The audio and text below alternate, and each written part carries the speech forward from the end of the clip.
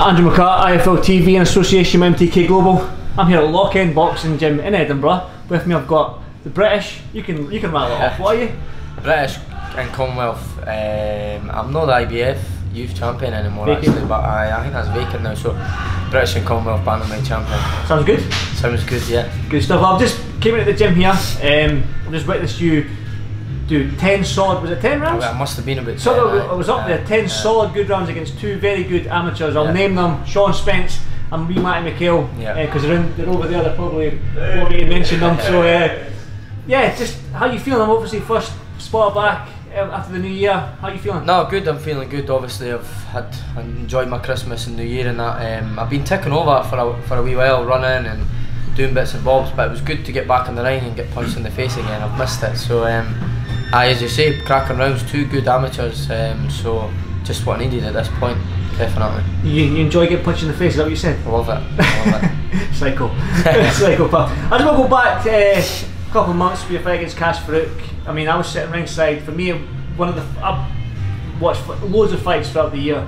For me, that was one of the best fights I've seen in a Yeah. long time. I mean, two Scottish boys going at it. There's nothing better for me as a No. Scotsman. Do you know what I mean? I enjoyed it in there. I've watched the, the fight back a few times. You felt like you won in the ring. You've Yeah. obviously watched it back yourself. Yeah. I mean, there's been- sort of mixed reviews on Yeah. people, what people thought Kash won and blah blah blah blah. But you've watched it back yourself. What's your, your reaction to it? Yeah, no. The more I watch it, the the more frustrated I get with them with the uproar, um, because yeah, don't get me wrong, a close fight, uh, a really good, hard fight, uh, but nowhere near what what some folk are, are claiming on Twitter, claiming robberies, worst decisions I've ever seen or something. Come on, let's be serious. Like, go and watch it and take your hat. Like, you know what I mean? The advice. Obviously, the, these folk, some some some would have been neutral, but I just don't understand the, the uproar. Like I- I've I've seen sense from some people, they've been saying that a close fight nowhere near a robbery could have went either way. Blah blah blah. I'm happy, I can take that. But these folk that are that are what a what a shout and scream robbery, it, it certainly wasn't. I've seen robberies in my time, and, and that just simply wasn't wasn't a robbery. Of- for me, it it wasn't a robbery. Like I said, it could have been either way. It depends what what it's the eye test. What you Yeah. like to see. Do you like pressure, Yeah. or do you score the scoring shots? Which seems Yeah. to be Kash had the pressure, and you landed the scoring shots. You I mean, so that's that's where the, the, the fight can be scored there. Going forward, I mean, just talk about the rematch. Do you think it's not going to be an immediate rematch? I don't think. Do you feel like wait till it's built up a little bit more? Maybe you have a, a European title on the line, or there could be some sort of fringe world title, and maybe let's get the hydro. Is that what you're Yeah, hoping a for? hundred percent. I think we made it. I think we sort of underestimated that fight um, beforehand. Um, with making it the Emirates because I, I, I believe that people were struggling to get seats uh, on the night because it was it was that full and that sold out. So I think it's it's um, inevitable that it's going to be um, the rematch will be in the Hydro. Uh, but as we say, there's a, a lot of things happening in boxing. We don't know we don't know what, what our next move is yet. I'll probably, hopefully, maybe defend the British. I need to speak to my team, see what they want to do. But I think from brief discussions, there seem to be that we'll defend the British and then hopefully try and win the European this year. And, and I'm more than happy to come back to Scotland and make, hopefully, if all goes well, and make my first defence against um, Kash. You've, Uh, you said that. You've I said would, that before. I would, I would, I would love, I would love it to be in Edinburgh, um, but Thank I- Castle, Hearts. I would love that, um, and it, it, it's a possibility. It really is. Um, but obviously, the Hydro is probably the the, the favourite uh, venue for for if the fight was to go ahead again and the rematch was to happen. It would probably would be the Hydro, but but you never know. Um, I, I would love to come back to Edinburgh, and, and I think if I go away and win the British title and and make my first defence against Kash, then I think I, I deserve to have it in Edinburgh. So, Mm. and I know my team will do everything they can to to do what, what pleases me. So we'll see what happens. But there's a, a long road ahead before. But um, uh, please believe me, I'm up for the rematch as well. You mentioned before to me that the British title was what you wanted and stuff like. Are you the traditional type of guy you want to defend it three times, win it outright? Like you said, you want the European title next. That Yeah. could propel you to bigger and better things, but you might have to vacate the British title. Yeah. So if you had your choice, would you like to defend it three times, it outright, or if something bigger and better comes along, then you'll vacate the British title? Yeah, well, I've got that's what I mean. I've got a tough de- decision on my hands. Um, as you say, you need to defend it three times. That'll probably take me.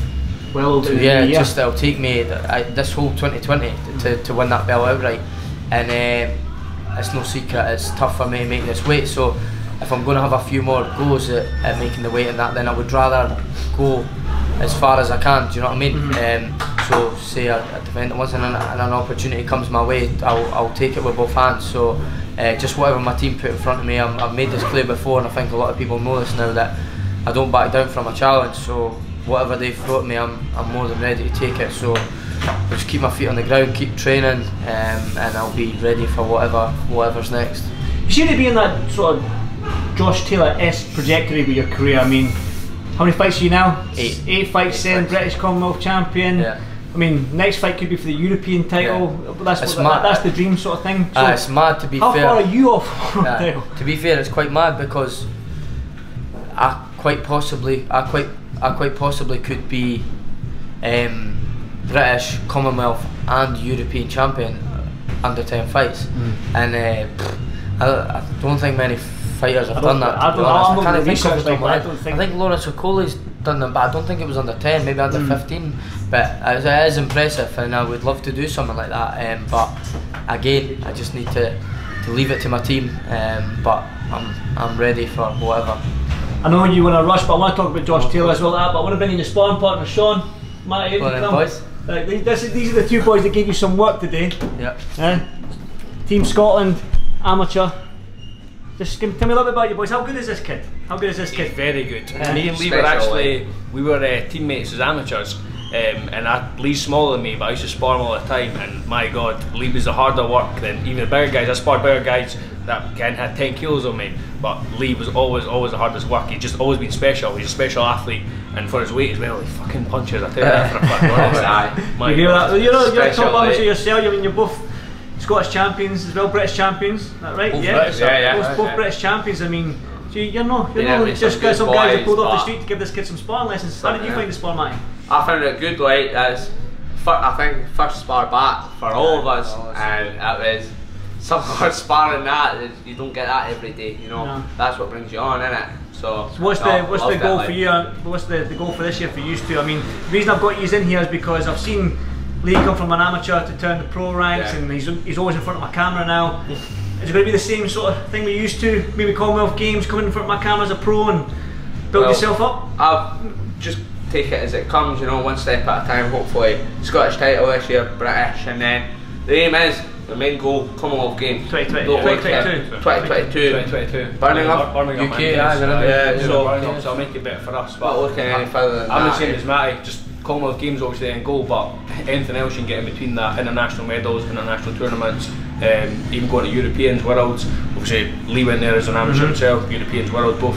Um, and that's something we want to do, build up to that, and then turnover. He got a, a great deal turnover. He's look what he's done. Exactly. So we want to get to the heights, and then that could obviously be an option. for Well, us. the reason I'll get you in the camera because I always like to promote Scottish boxing, so I want to see you. The next Damn guy's right. coming through. Thank you. Matt Yeah, McHale on the left, Sean Spence on the right. Thanks very you. much, guys. Cheers. Thank you. Cheers, lads. Back to you, champ. I want to obviously talk about. We're both good friends with Josh Taylor. I mean, huge news yesterday. Aye. Him signing MTK as an advisory deal and then obviously promotional deal with Top Rank and Bob Arum. I mean, just what's your thoughts on that Oh, deal? I think it's unbelievable for, for Josh himself. Um, he's he's at the top of the sport just now. He's he, everybody's raving about him. He's um, he's he's in line for some super super fights, and I think it's a great move for him. Uh, he needs to, to look after himself. Uh, as we all know, this sport is is ruthless. You can be one punch away from no not making a penny again in it. So he needs to take these opportunities when he gets them, and and um, I believe that this move will make him make him become a superstar if he's not already one. Nah, I'm pretty sure he's well, that's what we've got. The, the main goal for Josh is undisputed against Ramirez. Aye, all four titles, Green Magazine Yeah. belt, all this and that's that's the right move. Uh, he's a Both perfect move for him eh, if he, to make that fight. So both for top rank, so it's easy to make a quick prediction then. If Josh wants to face Ramirez, stupid question because I know what your answer is going to be, but just give me your thoughts on that fight. To be fair, I've seen I've not seen much of that Ramirez. Obviously, I've seen him against that hooker. He looks like he's he's rough and tough and ready, but I just think Josh is on another level to, to all these guys at 140 pounds. I, I believe his challenges are going to be at 147. That's when he'll be in real tough, hard fights, and I, and I can't wait to see him involved in their fights because that's when people will see how good he really is. I, I still don't think people realise how special he is Mm. until he